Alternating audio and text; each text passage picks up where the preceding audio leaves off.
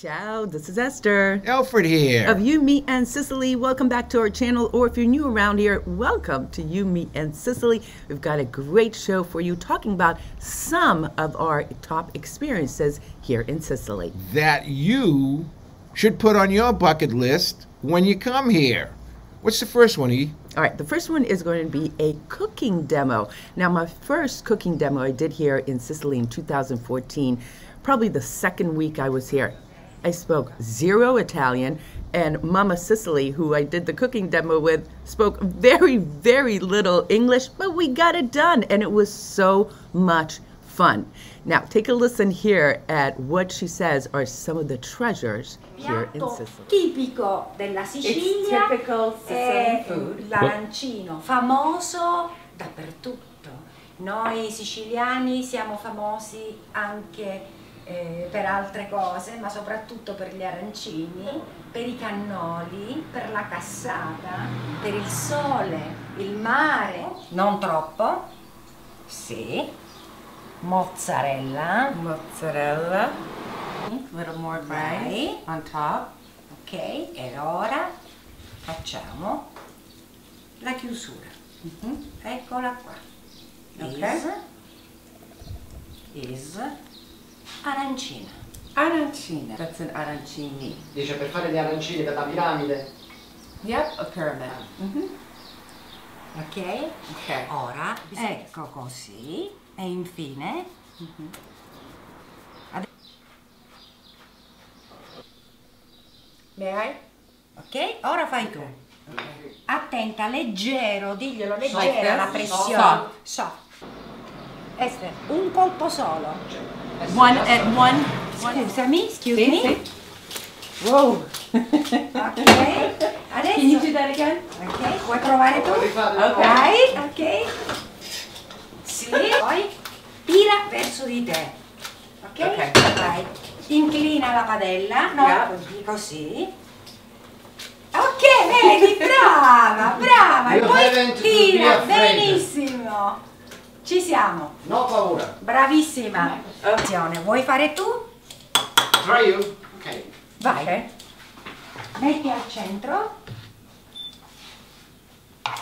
All the way to the top. Beautiful. Pistacchio. And uh, parmigiano. This is a typical Sicilian plate. Ah. It's the meeting of. It's the meeting of uh, the typical of a typical Sicilian dish. Yeah. With the, the nouvelle cuisine. Troppo caldo, ti bruci. It's a little eh, warm. yes. Ora però puoi assaggiare e mi dici Wow. cosa ne pensi. It's Assaggia. beautiful. Mangia. Okay, mangia. Ok? Ecco, almeno il morso. Brava! Ok, belli Giovanni! It's, it's delicate. I've eaten these my whole life. Aren't they delicious? This is how you make them, folks. Take good notes. Thank you, Grazie a te. Silvana. Uh, grazie di This essere has been venuta. great. I learned so much about cooking and about the culture. Sì, And grazie. you, I can see and feel your passion. Sì. You love cooking. Ok. Yeah. Sì, Grazie. Grazie a voi. Ciao America. So, you guys, we made arancini and we also made pasta fresca, fresh pasta with pistachio sauce. Now, I know many of you guys have done pasta at home, have done arancini, but every time you come here and you go to a different place, they make it different. Everyone has a different recipe. So, it's so fun to do that, learn something new. And, you know, there are also English speaking uh, cooking people all over the island. We know lots of them. The other thing I want to tell you about cooking demos that some people do is they take you to the markets, go shopping to get all the ingredients. So that is one of my top things to do when coming to Sicily, cooking demo. The uh, cooking experiences in Sicily range in price, okay? From a private demonstration to a small group presentation to a presentation where after you have the cooking demo, then you have a nice formal or dinner or something like that. So there's a lot of price points. Your hotel concierge can help you out, or as Eszter said, she can obviously help us out. We have contacts all over the island, but I think a cooking demo is the most one of the most memorable experiences e that uh, people can come when they visit Sicily. All right, Alfred, you're next. What is my next topic, E? Well, we uh, just made arancini, so why don't we go to street foods? Makes sense to me. Street foods. well, okay. There's nothing like sitting on the, actually si- standing on a sidewalk, going up to a some type of a kiosk and ordering something of a Sicilian nature. It's just a wonderful thing to do, and there's so many varieties, Z, that we'd be here forever trying to list some of the things. But I think on this next clip, we'll give you a representative sample of some of the things available, but not all. grill for you. Hamburgers, salsiccia, salvo, salute. Che sta facendo? polpette di cavallo, Cavallo, okay, horse meat. salsiccia, sia semplice che condita, One is the simple, one is with spices. E poi? trinca di vitello Vitello, beef. e polpette di vitello sulla foglia del limone. Hamburger. Come hamburger, vero? No, questo è sì, impasto uguale, però fatto sulla foglia del limone, visto? Oh, look at that. Lemon foil. Saluta a tutti. Ciao! Grazie, Salvo. Ciao. Yum. Minus the horse meat. Yum. Stasera se canta e se mangia. Fugu is made slow and low. It's got good smell, good bouquet. Very good bouquet here, Eszter. You see the peas going on over here. A little bit of meat.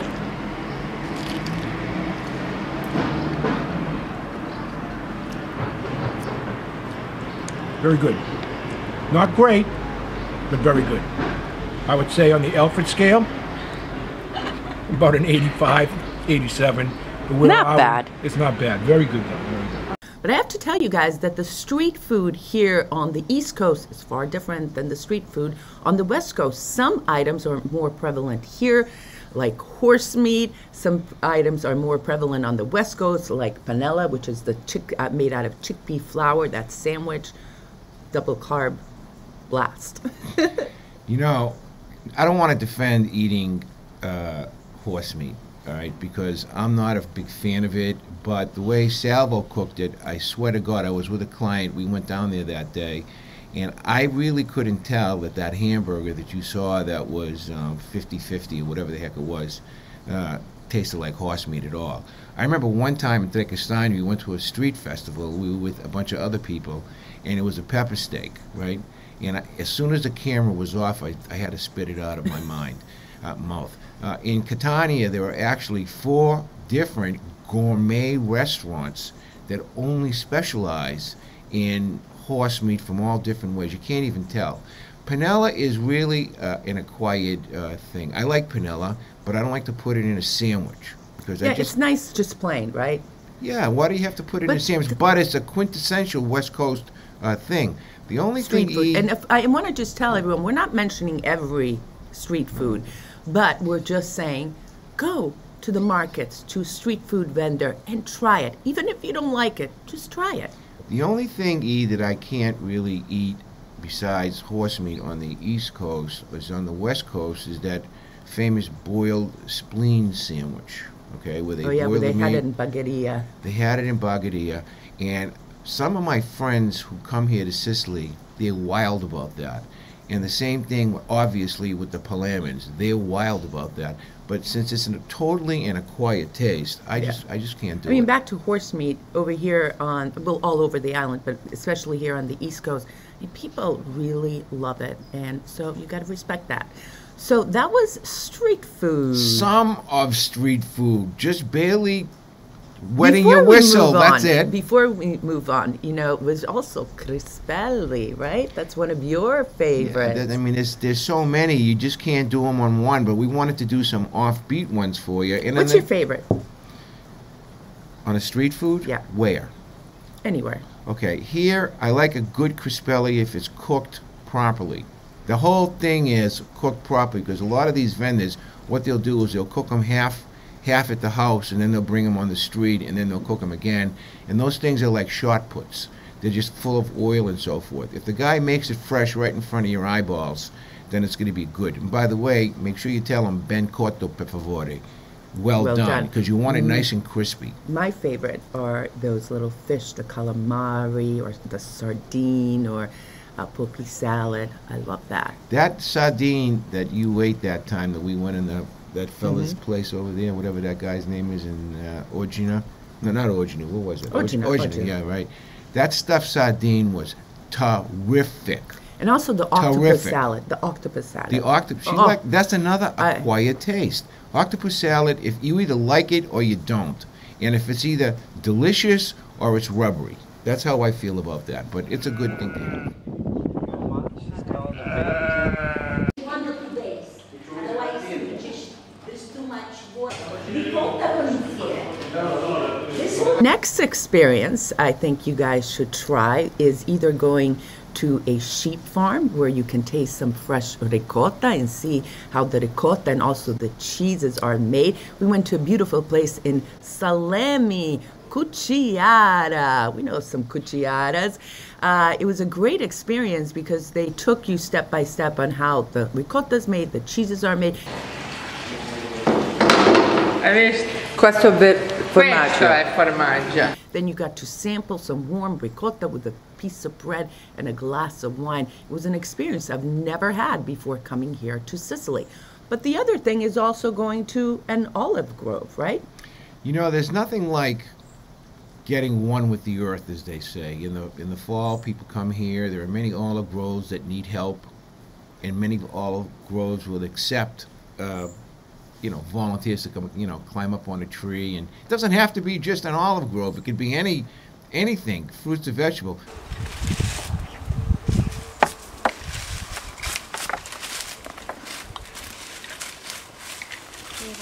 My friend Anthony Campanella. He's a gentleman farmer mm-hmm. from Petroplazia, right? Is that how you say it? Yeah. All right.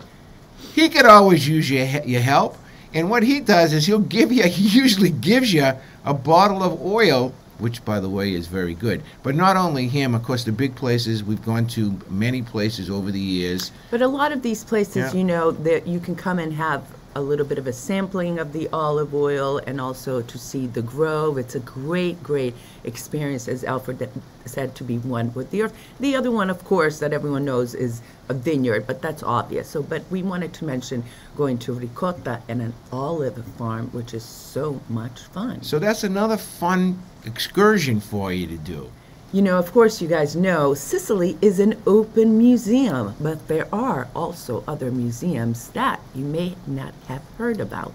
There's a whole range of different type of museums, ranging from archaeological museums, which are just spectacular, to funky museums like a Sicilian cart museum, for example.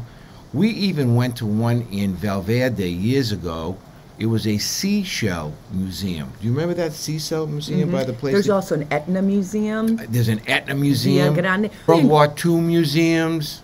but the Sicilian Cart Museum is extraordinary. Our friend Giuseppe Giuffridas has a collection that is unbelievable. He has collection from the Catania area, Ragusa, Palermo, because they're all different. The styles are different, the way they make them are different, the colors are different. two different themes. In this part of the card, we have uh, um, a, a reference to Napoleone. In- instead, in the key, um, uh, we have uh, the reference to um, a very important Italian epic poem, uh, Orlando Furioso, written by Ludovico Ariosto. And he also has some Sicilian puppets. And the coolest thing, he has some antique cars because his dad is quite the car collector. You know, Eszter, we didn't say anything about a puppet show, okay? But puppet shows are another thing that I think that you would love. This, uh, this kind of theater is um, a, a a strong Sicilian tradition.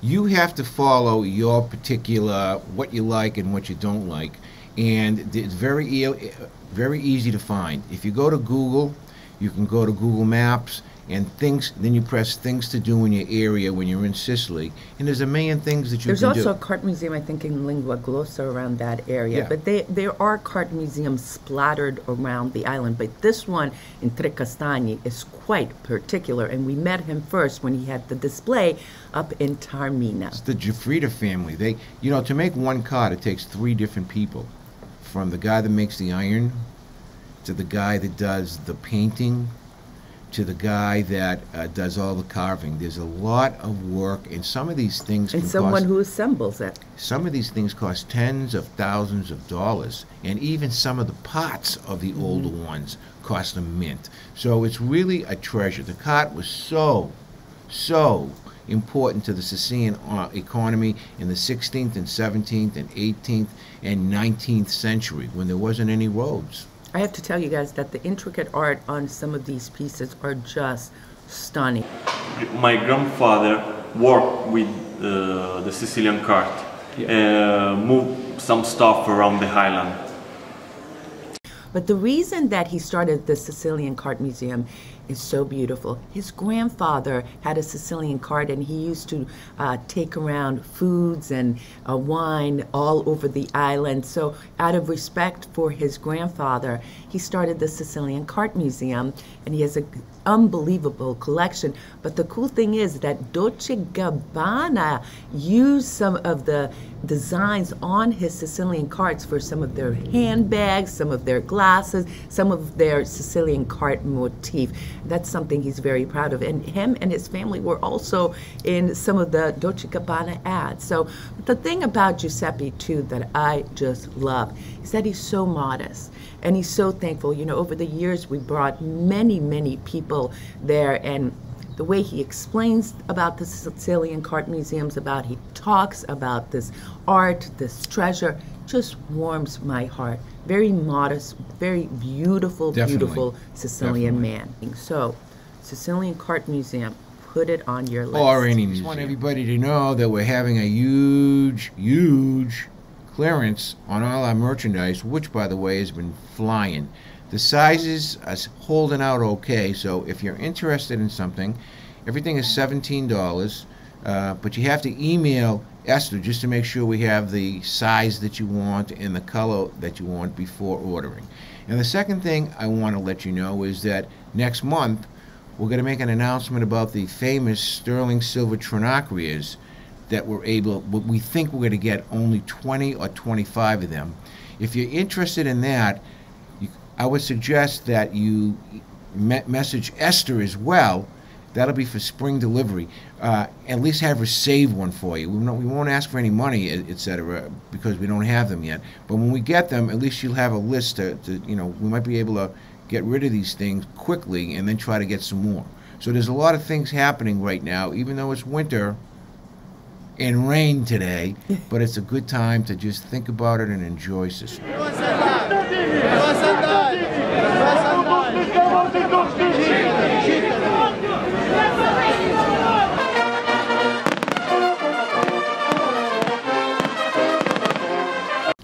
When you talk about festivals, that means if there's 400 towns in Sicily, there's got to be 400, at least 400 festivals. There's the big ones in Catania, there's the big ones in Palermo, there's the big ones in Sciacca, at all different times of the year, ranging from uh, Carnivale, ranging from you name it, right around What's ranging Ferragosto. also religious and also Oh. food, the sagras, right? We There's just- the sagra of pistachio, the sagra of sardines, or was it anchovies? anchovies. Anchovies, celebrating anchovies. Imagine celebrating that. everything. We even think there's one called the, the Sagra Pesce Spada.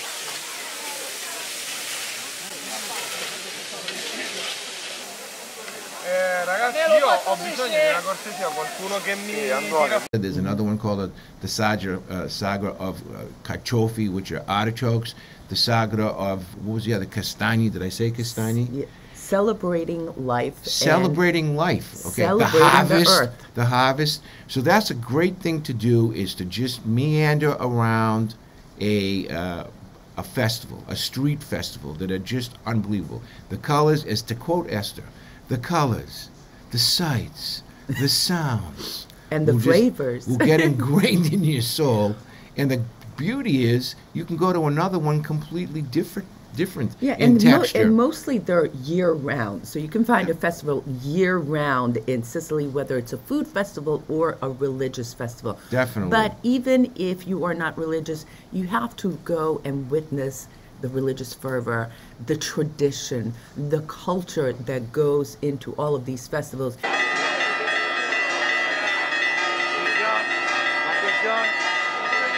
And with every festival, of course, there's plenty of street food and other foods to eat. So One festivals. One that we didn't include here that we go, we almost go every year is the Ottobrata, the October Festival in Zafferana della Etna, where all the uh, guys and men and women who have little farms and grow some, of the artisans, they put their stuff Local on products. local products. They put their stuff on display, and that's another memorable thing. Unfortunately, last year they canceled it, but Trecastagni Well, had they had one. a, a Yeah. smaller version in yeah. Trecastagni. So there's lots of places. But I have to tell places. you, what I love about that too is that Sicilians love to display their wear, their products, their work.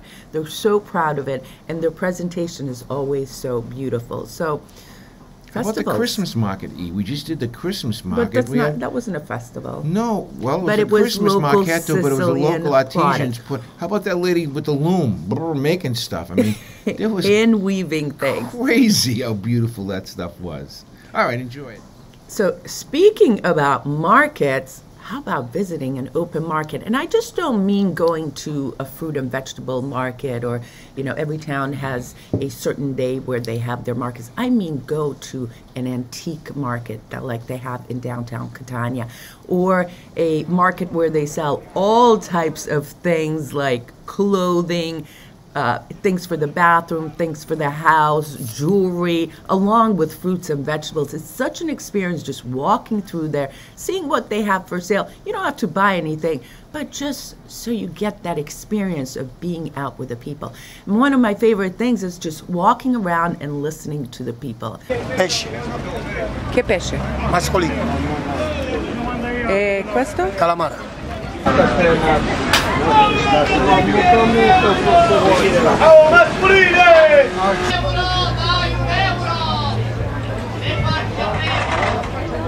They're bartering, they're asking questions, they're looking for colors, they're looking for sizes, and it's a nice little experience here in Sicily.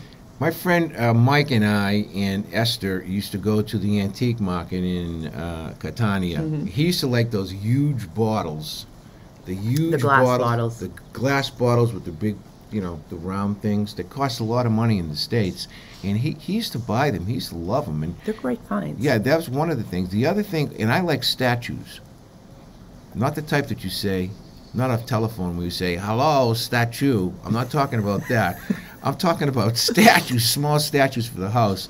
And we picked up some in um, Siracusa. No, excuse me, Noto. So over the years, we've accumulated a bunch of stuff. And they have a market too, right before you go into the main uh, part of Noto. There's street vendors selling all types of things. So that's a cool little experience, and you get to see the you know what products are in style, cool Sicilian uh, motifs. So plenty of trinacrias, plenty of if you go to Inya, lemons, and and so forth. It's a very Yeah. colorful and robust experience for sure. The only thing I have to warn you about is when you buy jewelry, okay? I'll never forget the time I was in Noto. She had gone off, and I wanted to get a replacement ring because my red ring I had, it broke after it wore out. So I got the street guy, and I looked at that ring for, I don't know, a half an hour, all right? Because I wanted a red stone with the sterling silver, okay? And the guy says, "Oh, this will never blah blah blah this and that." I paid 45 euro for it, which was about maybe 10% of what I should have paid. And here it is. I wore it until about a week later, when the sterling silver began to wash off when I was taking a shower, and it was copper underneath. Right? you remember that? I remember I was that. so irritated. I got. I don't say I got ripped off, but I kind of got. You know, you have to watch yourself. That's the whole key.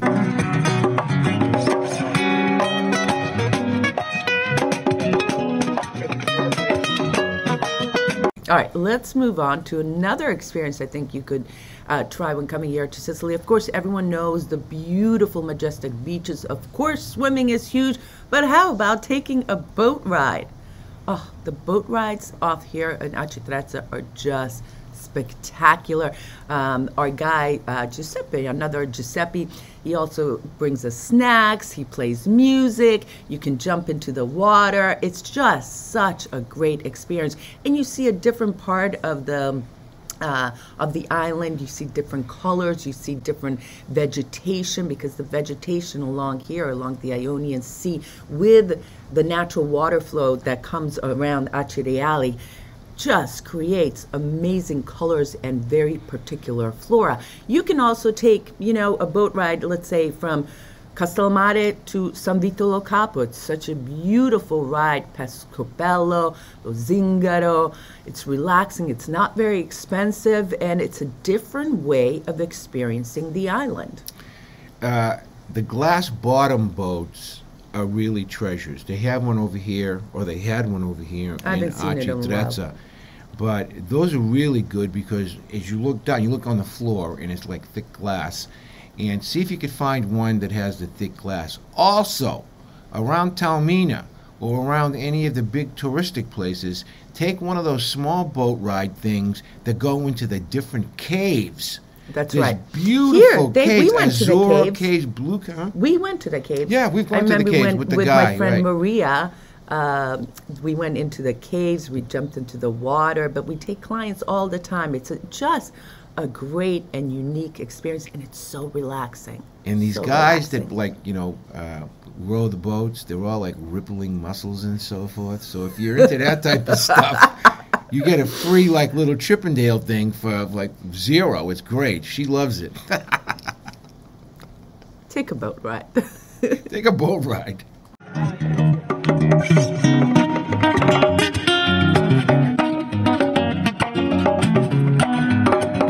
talked about we talked about boat rides, but what about in the sky? If you go to Catania Airport, you can take eh, you could rent a hel not you, but you could have a helicopter ride going all the way up the coast. That's great. The other thing that I would suggest besides a helicopter ride is when you go up to Messina, take the ferry. Take the ferry over into Messina, excuse me, into Calabria, and spend a few hours walking around the town there.